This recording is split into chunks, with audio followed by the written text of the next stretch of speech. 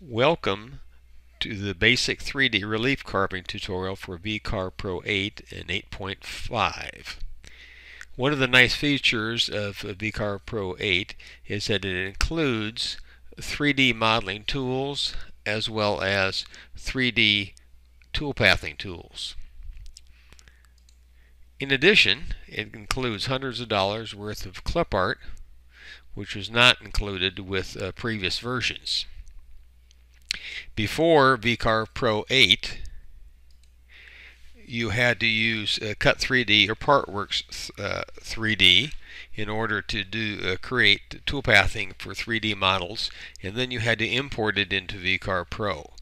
Now that has been completely eliminated, and so uh, VCarve Pro 8 uh, handles what uh, used to be VCarve Pro 7 along with Cut 3D or Partworks 3D. Only time you might need one of those uh, part, uh, Cut 3D is when you're doing four-sided machining. Well, once we've seen these nice features that we're going to explore here, and first thing we're going to do is we have uh, I've already created a template of a cutting board. And the, the purpose of this uh, template is it gives the customer a good preview of what the uh, the cutting board will look like after it's carved. And this is one of the uh, very common use for 3D relief uh, carving, uh, and you'll see why that is. We have a typical cutting board size thickness uh, 0.875. Here the XY datum position is in the center because we're I'm going to be putting aluminum hold down clamps on the corner of that cutting board and I don't want to uh, risk uh, hitting it with the bits. We're going to close that and the first thing we're going to do is we're going to go into the clip art file and there are two uh, you, you notice uh, some different styles cl uh, clip arts here right here if you see these uh, this style right here if I double click on that, it will appear and then I can uh, adjust where I want to place it on the uh, material. If I try to drag it, notice it's not going to let me do that. If I go to this style right here, if I drag it, it will go on, or if I double click, it will go on to the material. So uh, th that is the one distinction. Uh, double click, uh, uh, double clicking will get that uh, image, 3D image, onto your material. So that is probably the easiest way to go. Now we're going to look at uh, the different styles of 3D clip art that come, and we'll go to the animals right now.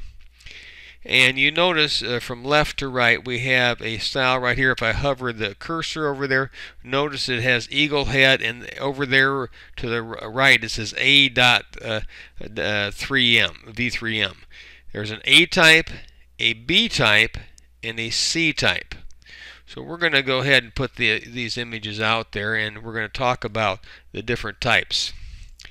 I'm going to go ahead and use the sizing handles to make those a little bit smaller so we can uh, take a look at them. Make this one a little smaller right here and then I'm going to bring out this one right here, C type. The A type, and you'll see this easier if we go to the 3D view, the A type is raised, a raised model. This one is a dished model and this has got a hand carved edge. Uh, so these are three types. If we go, if we take an isometric view, we get a better idea. For the purpose of this training for simple 3D relief carving, we are only going to be looking at these two types, the dished and the hand carved. The raised is a little bit more difficult to cut and involves some different techniques. So for this purpose, we're just going to eliminate this one right here by hitting the delete key. Then it's a matter of preference. Do I want to have the dished or do I want to have the hand carved? For the purpose of this tutorial, we will go with the uh, hand, I mean the uh, dished. The hand carved uh, will use the same type of tool pathing technique though, and, and you'll understand why that is uh, in just a minute. The next step I'm going to do is I want to size my 3D model so it will uh, be large but not uh, not, not uh, too close to the edges. The, uh, these are going to be the edges of the cutting boards. Once I've got the size I think I want, I'm going to hold down the Shift key. Having selected the eagle first, hold down the Shift key and click this border. Now the only purpose of this border is for centering my image inside this uh, lower portion of the cutting board. I'm going to go to the drawing tab and I'm going to go where it says align objects and I'm going to go down here where it says center horizontally. I'm going to go over here center and objects. This is where I want to center. Center directly in the middle there and that's what I've done. Okay. So once I've selected the selected my image, it needs to be again either the dished or hand carved.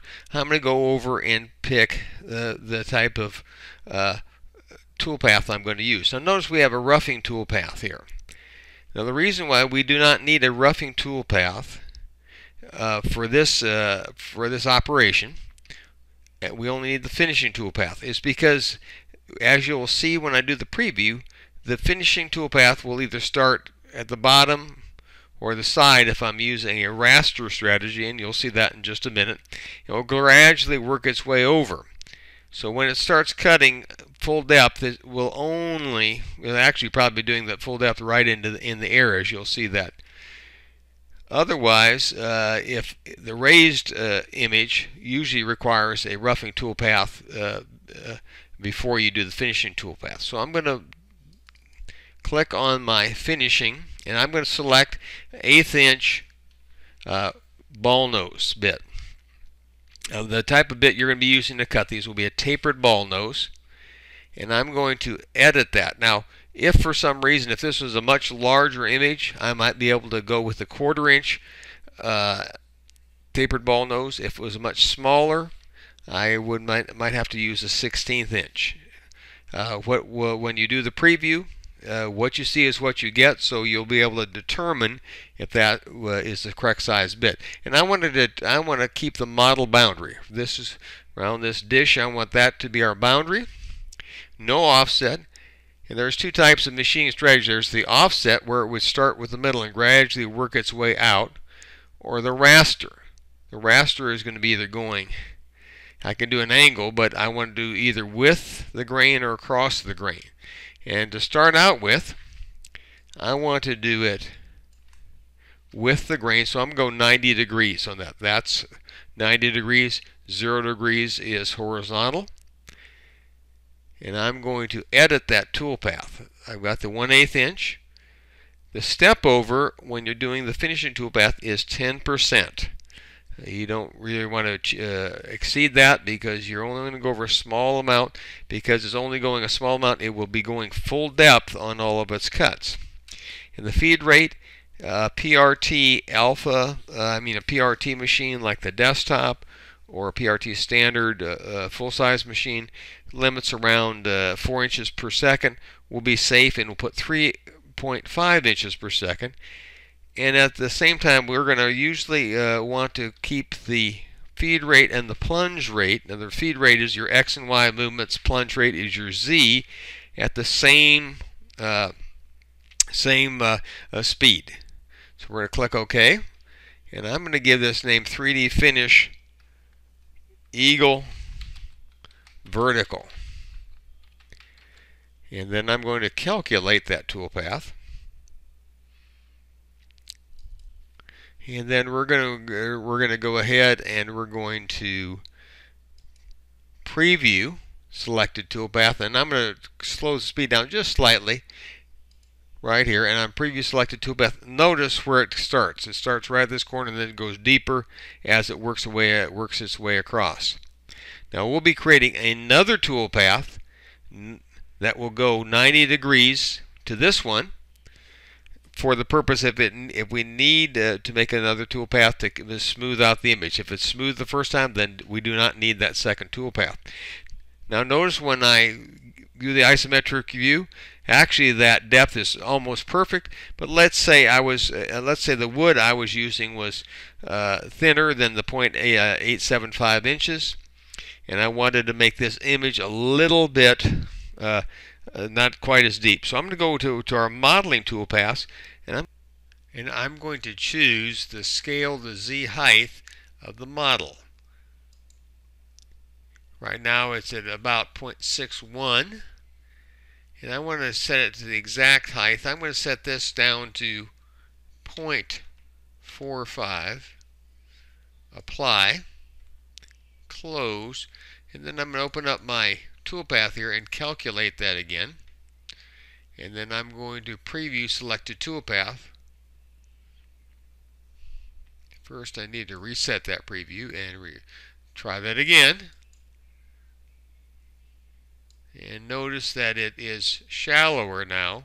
Notice that it's shallower than what it was before.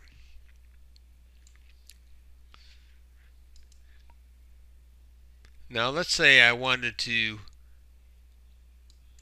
give it even a deeper one. I could go up to 0.72, apply, close this, go back in here, and I'm going to calculate this again. Every time you resize it, you need to recalculate it.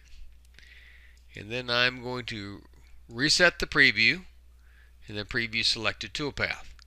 And notice it much deeper than it was before.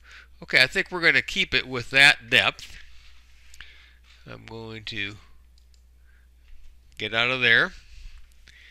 And now I'm going to go over to my 3D Finish toolpath. Remember I said I was going to create another toolpath perpendicular in case I needed to, to smooth that uh, out in case there was a rough finish. So I'm going to right click and I'm going to duplicate, double click, and then I'm going to go in here. The only thing I'm going to change is instead of 90 degrees, I'm going to put 0 degrees. And instead of 3D Finish Vertical, we're going to put 3D Finish Eagle Horizontal horizontal, let's spell it correctly. And we're going to calculate. Now, we're only going to be using this particular toolpath if the first one did not give us a smooth finish. Now, all these other toolpaths that you see here, the whole purpose of them is to actually to cut out this, uh, to show you what that cutting board uh, would look like realistically. Now since I've got ready-made cutting boards we're going to be carving this on, uh, this is not going to, we're not going to be actually saving those uh, uh, toolpaths. But let's go back in here and go back to our preview and we're going to preview all toolpaths. And I'm just going to have to double click on the waste material.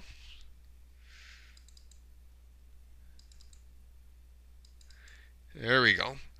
And now we have a very realistic looking cutting board. That is very close to how that it will that will look once it's carved.